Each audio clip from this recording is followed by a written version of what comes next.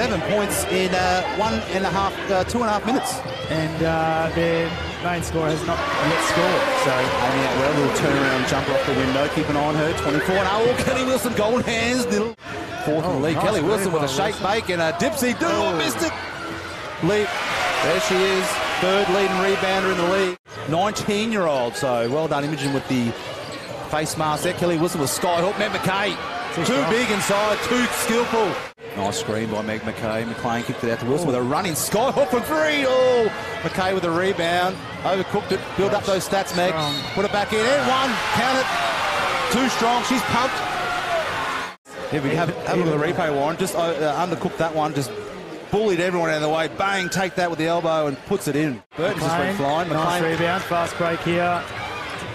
Wilson for the oh, once McKay again. Oh, thought, she, thought she got bumped there. Just fielded up again. Back to back, three point play. Potential if she can put the free throw in. She's pumped, Meg McKay. Overcooked this one, Warren, and stayed with it. Just ran over. Dennis Robin like, grabbed it, put it back in with the left hand. Beautiful play. Oh, look out. They're going to the well of McKay. Oh, also kicked it out.